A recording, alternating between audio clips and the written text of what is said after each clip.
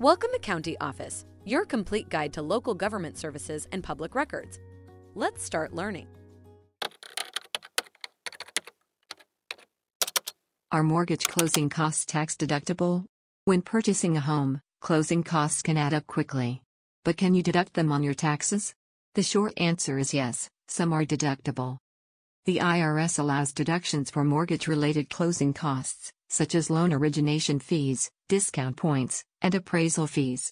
These deductions are only available for the year in which you purchase the home. However, not all closing costs are tax deductible. Fees for services like title insurance, property taxes, and homeowners insurance are not deductible.